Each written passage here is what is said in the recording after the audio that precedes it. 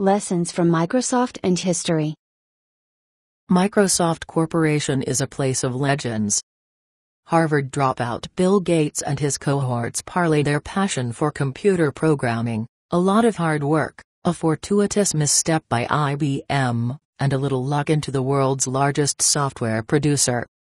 They made wealth the old-fashioned way, they produced something of value, took it to market, and the market responded. As Microsoft grew, so did the scrutiny of their business practices not just from competitors and the press, but also from government regulators.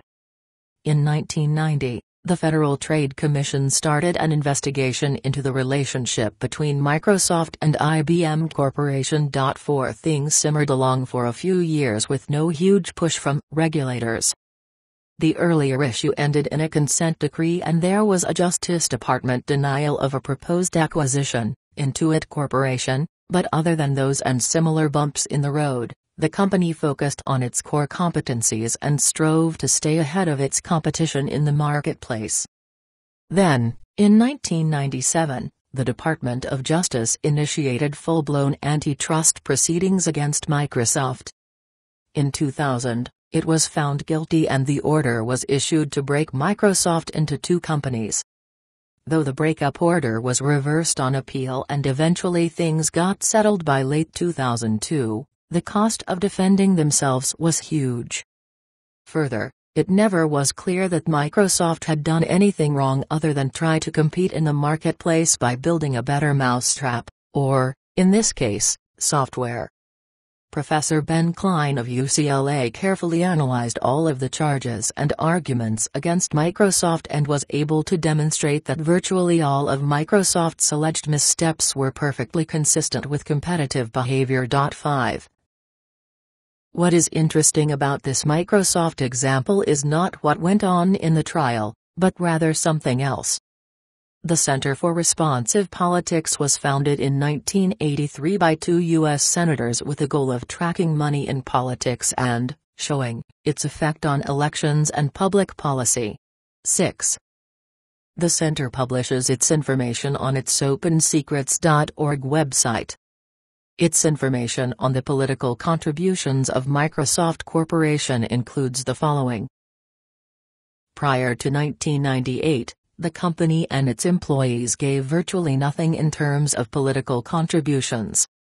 But when the Justice Department launched an antitrust investigation into the company's marketing of its popular Windows software, things changed.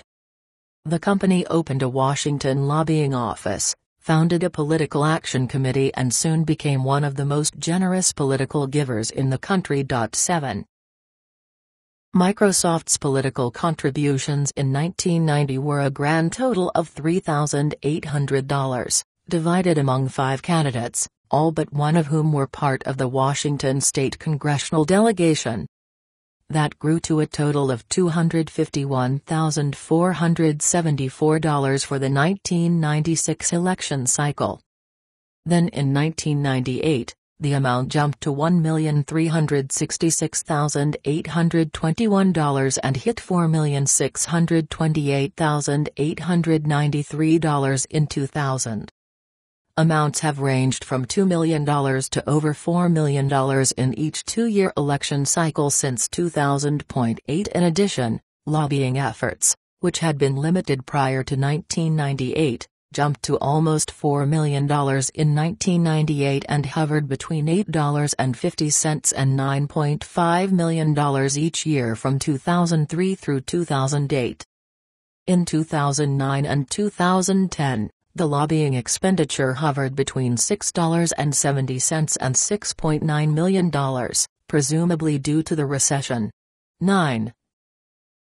The coincidental occurrence of the Justice Department's antitrust lawsuit and Microsoft's decision to enter the political fray is telling. Some, who choose not to speak for attribution, opine that the Justice Department suit was a wake-up call to the company for not paying proper attention to rendering unto Caesar. Whatever the reason, one thing is clear. Microsoft discovered that its success depended on both how it competed in the marketplace as well as how it competed in the political arena. In contrast to how Microsoft co-founder Bill Gates is managing his personal fortune, the corporate entity Microsoft is not, and never was, in business to spend millions on charity or goodwill.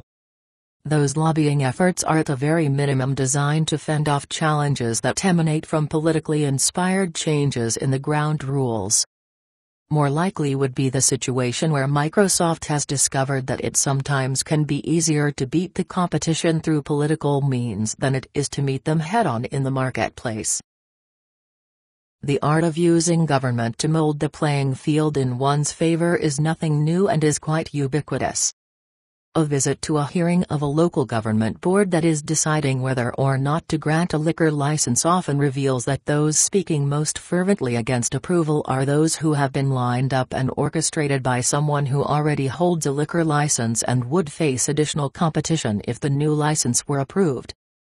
In Billings, Montana, each of the two hospitals separately and independently saw fit to petition the city to abandon a block of city streets so the hospitals could expand.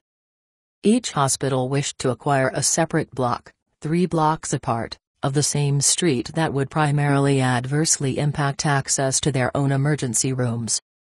But at the hearings, each hospital rose in opposition to allowing the other to acquire the rights to the street because of claimed blockage of access to their emergency room three blocks away.